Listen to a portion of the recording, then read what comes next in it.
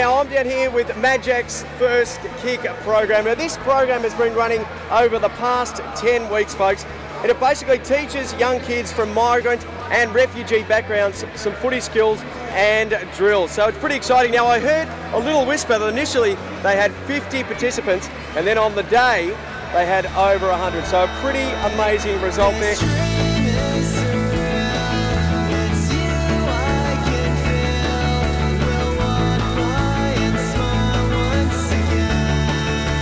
Madge, uh, that looked like a bit of fun for the kids. Yeah, you know, I really enjoyed it. It's been a while since I've been out here. Well, you enjoyed it more than they did. oh, yeah, just, you know, enjoying the atmosphere. Nah, I think um, kids had a lot of fun, you know. The opportunity the club gives them to be able to come out here and, um, you know, pretty much do what uh, do what the players do and give them that exposure and just come out in the ground and have a kick. So it's something of um, something I'm really passionate about and I'm glad footy club has backed me in with it and um, you know, I've got a lot of support and I really enjoy um, doing this and it's something I'm passionate about.